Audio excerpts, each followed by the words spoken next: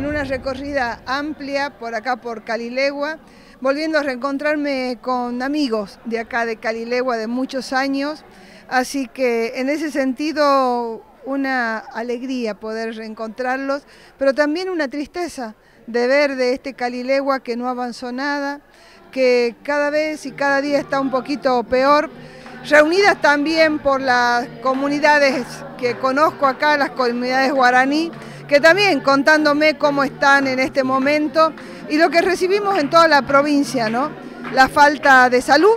eh, la leche que no hay en los centros asistenciales, la falta de medicamentos, la falta de trabajo, eh, los grandes tarifazos que no alcanzan ni para pagar la luz y también el tema de la educación. Así que en ese sentido, mucho, mucho para trabajar en esta zona y sobre todo en este Calilegua. Que este tiene que ser el centro del turismo de las yungas, lleva el mismo nombre del Parque Nacional Calilegua. Entonces, y con una cultura riquísima, con unas tradiciones que son exquisitas y tan poco conocidas en el país. Así que en ese sentido, trabajar para sacar adelante este Calilegua